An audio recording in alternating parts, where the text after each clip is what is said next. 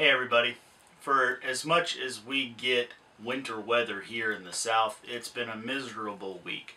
Right as these rabbits were kindled, it started getting down right at the freezing mark and we've had pretty much rain the entire time except for a little bit of freezing rain. So we've been holding off on trying to do a video about these rabbits that were born but we're tired of waiting.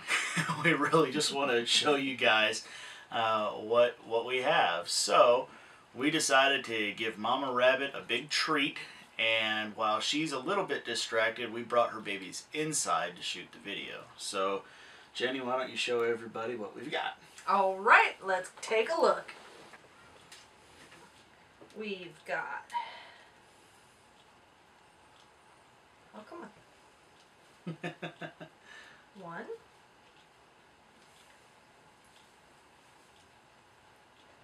Two. How many y'all think there's going to be? Get your guesses in now. Three.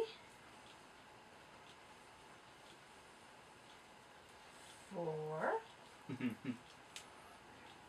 How many more? Five. Six. We have six baby bunnies. All right.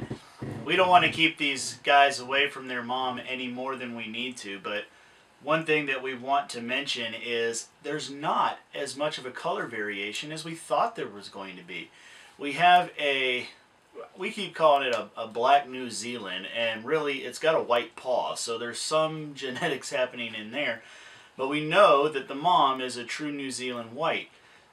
So we expected a little more color variation, but maybe our expectations uh, were a bit um, ignorant, uh, for lack of a better word. So here's what we're going to do. Keep an eye on the channel. We're going to bring a couple experts onto the channel and ask them about rabbit genetics and maybe if this is something we could have planned for and what maybe the pros and cons are about having a white furred versus a black furred or any other kind of rabbit. So uh, y'all stay tuned and we'll bring you more about the rabbits in the future. Thanks for watching. We'll see you next time. Bye.